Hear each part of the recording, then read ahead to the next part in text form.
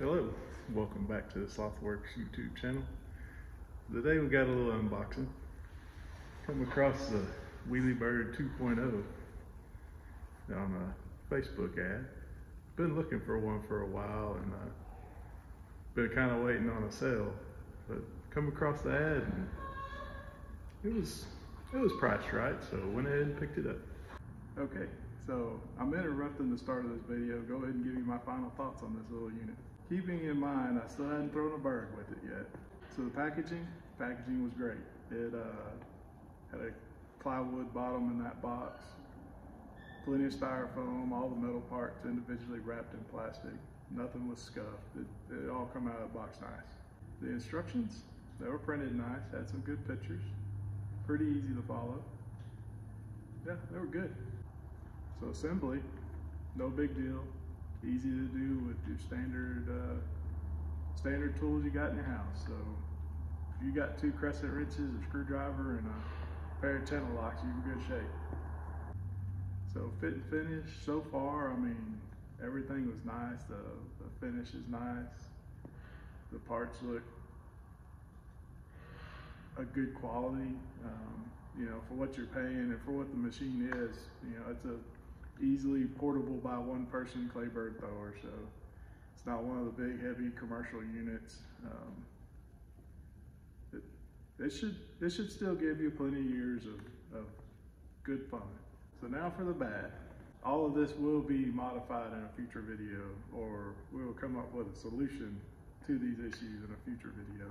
First and foremost is that power cord isn't long enough to reach a battery in your truck. Now I know they probably did it for a reason which is keeping you from running your truck battery dead in the middle of nowhere. But it would be nice if that cord was 10 or 15 foot long and you could hook it on there, you know, throw 25 or 50 birds real quick and should be fine.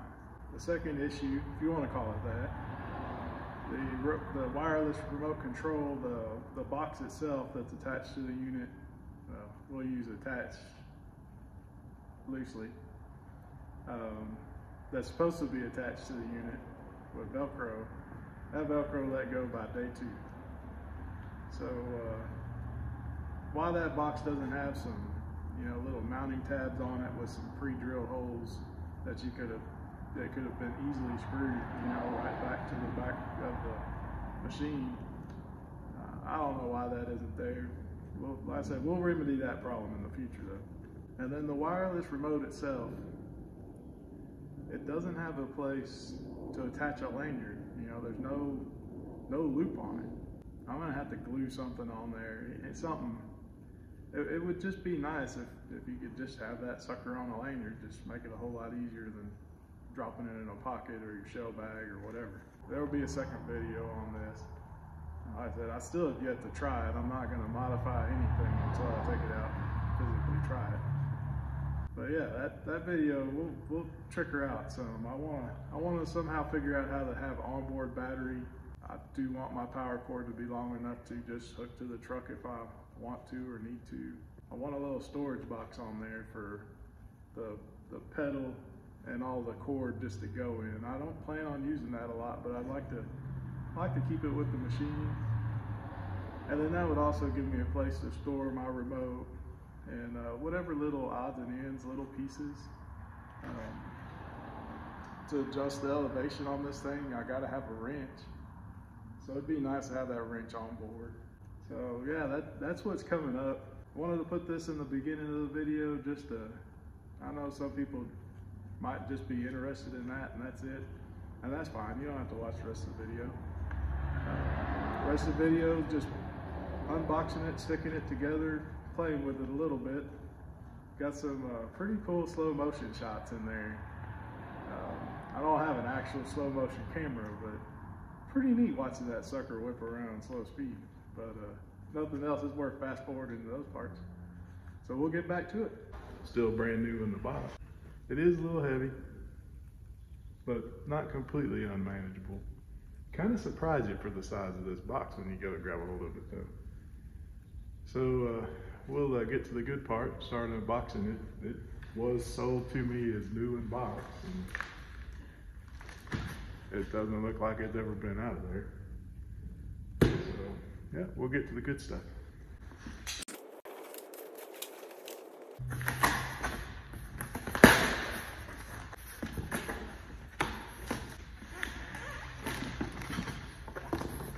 So here you go, this is the axle box.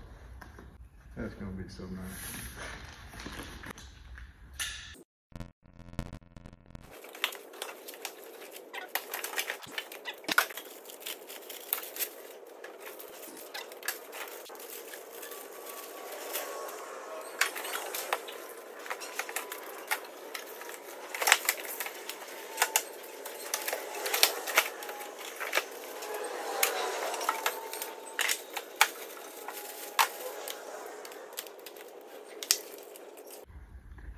This is pretty cool. Wireless remote. That's gonna be awesome.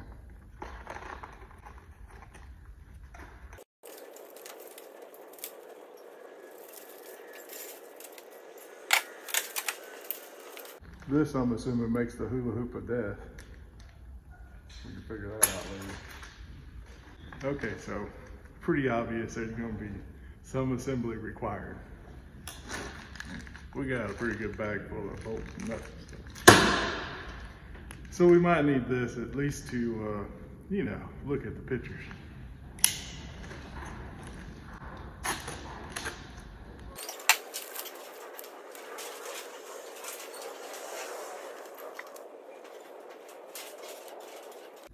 So the first picture shows assembling the cart. So we're gonna start with it. I'll dig up some tools and uh, we'll get busy.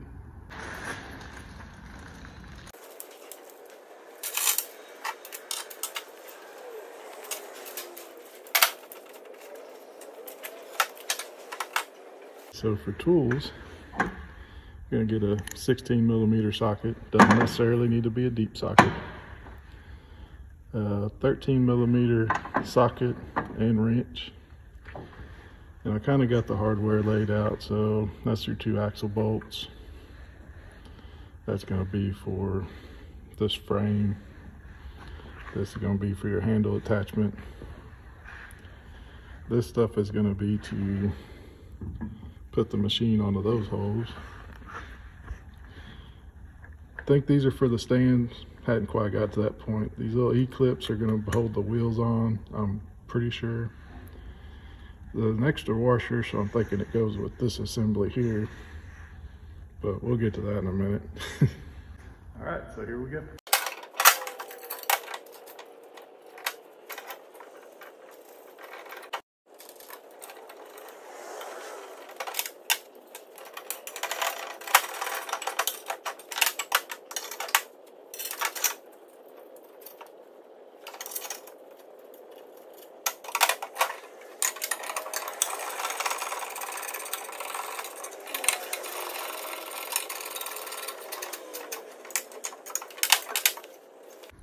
So do be careful about how tight you're getting it. You'll actually pull this uh, pipe down.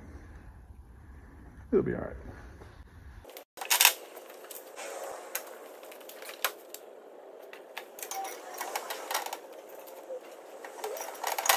So you do have some options.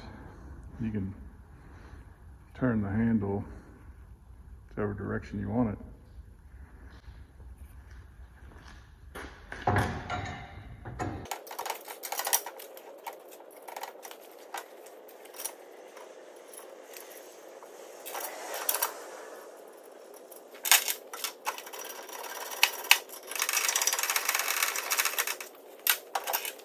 Now I didn't tighten these down too much in case I wanted to turn this. And I also put this bolt, I put the bolt back through this way just to make a little less snag point for when you're wrapping your wire up around the handle. Pretty snazzy orange wheels, they even got a bearing in there.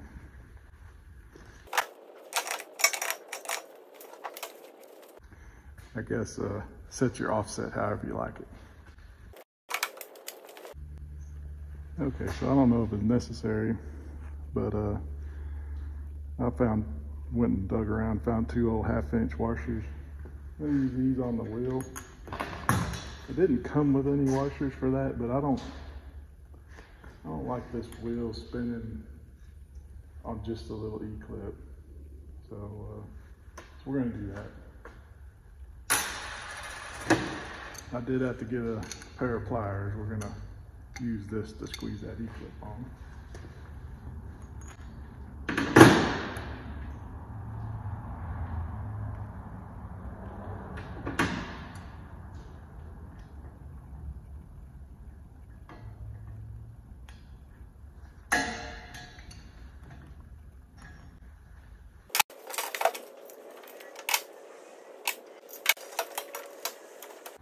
All right, well, I think that's it for the frame.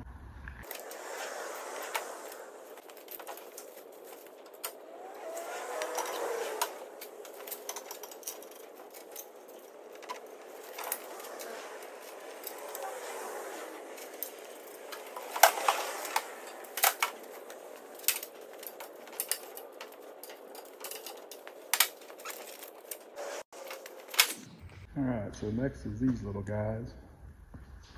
They go right there. And that's what your little hula hoop of death plugs onto.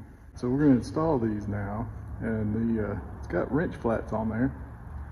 But the uh, closest thing I could find between metric and standard is this. Yep, that's the only one that would fit it. So we're gonna get these installed.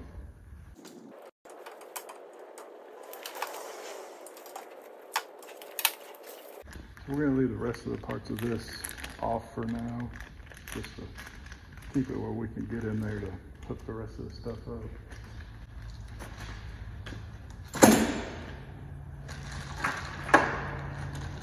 So this thrower also comes with a pedal. I don't know how long this cord is, but you could you could set back quite a ways. Um, if for some reason the wireless one goes out on you or something, still have this option.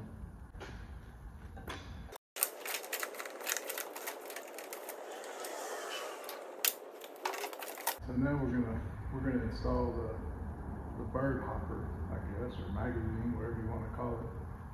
That'll allow us to hold like 50 birds on this thing. This end's threaded. That ring goes around the top side.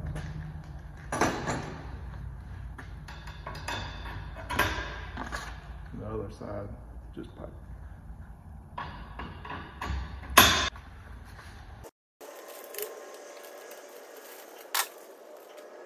These screws are just Phillips head.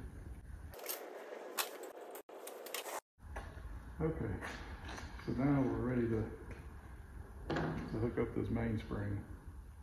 So I don't think this is under any tension, hopefully. Might be a little. Let's see. Nope. Now, I did actually read the instructions this time. So I said move this arm counterclockwise so it's facing the 12 o'clock position.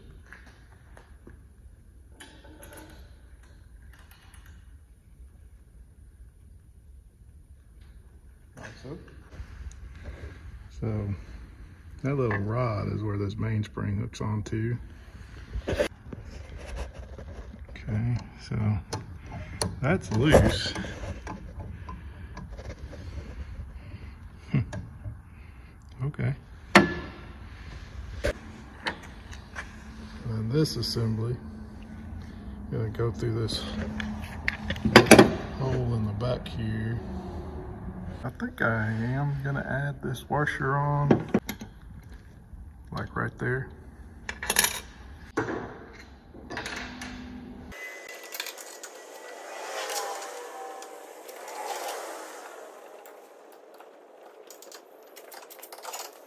All right, so that's a bit of a puzzle. Little black plastic bushing goes on. This side goes into the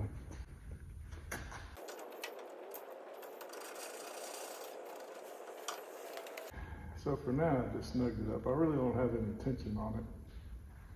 I'm just keeping everything in line.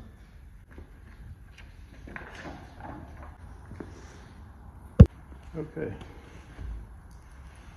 So we make sure the switch is in the off position. We're gonna hook up the battery now.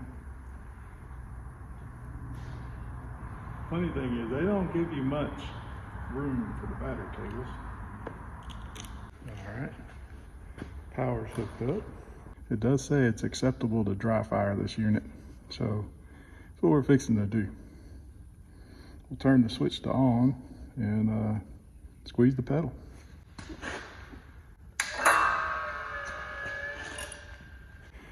I made sure the cord isn't in the way of this throwing arm.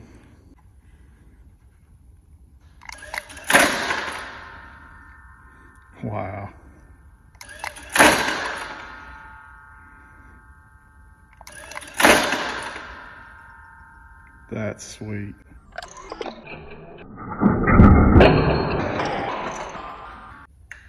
That's off. Now we're gonna hit the release. We'll play with that little um, wireless remote here in a minute. Okay, well here's all the wireless components. It's a little 23A battery, the wireless remote. Something I gotta get better about and just something good to do. with Any of your battery powered remotes, when you're not using this stuff, pull the battery out. And again, I'm saying this more for, for myself than anybody out there, but uh, uh, I cooked a power pole remote from a battery leaking in there and those batteries are expensive. So we're gonna try not to do that with this. Anyway, comes with some Velcro, little wireless remote. And it's just gonna go on probably right here on the back of the machine. This antenna does, this antenna does fold down, so I try and set it on there where when it's stowed away, it's not, nothing sticking up in the way.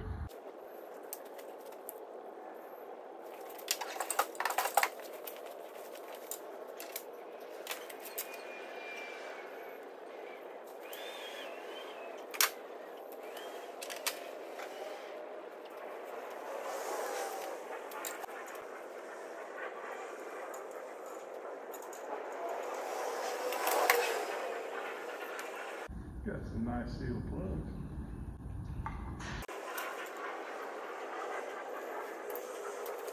All right, well, that was it for the installation. I mean, that's pretty simple. Plug it in. Let me go uh, find a battery. You got to learn. It's got to learn the remote. So that's the next thing we're to do. Okay, so I think I got the clearance in the truck bed that we can run it and work it. I hope. this may be more entertainment than we all bargained for.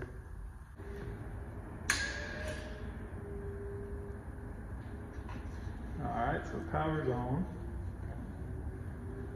We're gonna push remote learn.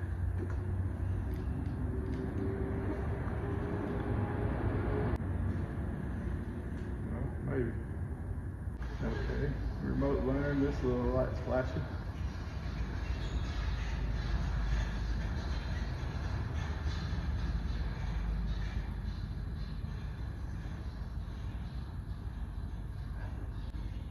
We're just gonna try a test fire and see what happens. Okay, must not have got it.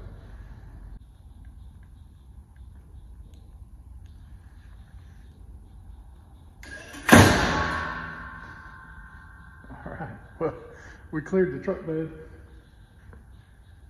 And I'm guessing we got a, a learned remote. So here we go again. Oh yeah. So the wireless feature is why I really wanted this. It'll allow you to stand out and get shoot at oncoming birds. All right, so one of the things I like about this unit is that it's, it's got a timer on here and you can adjust this timer up to like 15 seconds. So not really go quite that long, maybe about half that. And uh, so what that does is you hit the button. It gives you a little time to get ready. If you're shooting by yourself, pretty pretty neat feature. Just it a little slower. Hit the button. So when you go to shut it down, and I would recommend doing it whenever you're reloading birds or anytime you're around the, the front of it anyway. Go to off, and then it's got a momentary switch. So if you the same switch, you just hit it down. I don't know if you can see that. It'll fire it one more time, but it won't come all the way back to the cock position. There you go. So you can still fire it. If you hit this switch down, it'll it'll bring it right back around and fire it again. So be careful with that. Make sure you don't get a cord hitting that. All else fails, decock it and then hook, unhook your battery. That'd make it real safe to be around. We will be using this when we do go to shoot, um, just as a, a soft reminder that anything inside of this ring is gonna hurt like hell. That's all I got. It uh, came by at the right time. Um, been wanting one for a pretty good while. This is the end of this video. Unboxing slash assembly. When I get some time, we'll take it out and shoot it and do a, do a review and spend some time shooting some claybirds.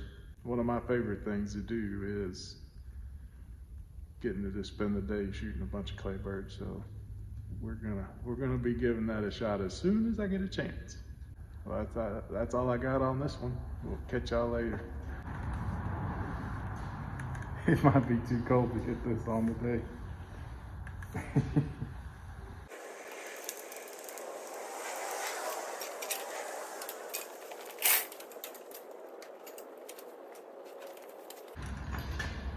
so it did come with a stake. Stake it right through there when you got it set where you want it. I don't know how important this is, but we'll uh, we'll find out in the next video. That's what it looks like with the safety guard. At least that'll kind of be a gentle reminder that you know this this spins around, so you damn sure don't want to get hit by that. Okay, we'll look at the instructions. Already forgot a dang washer. Mosquitoes.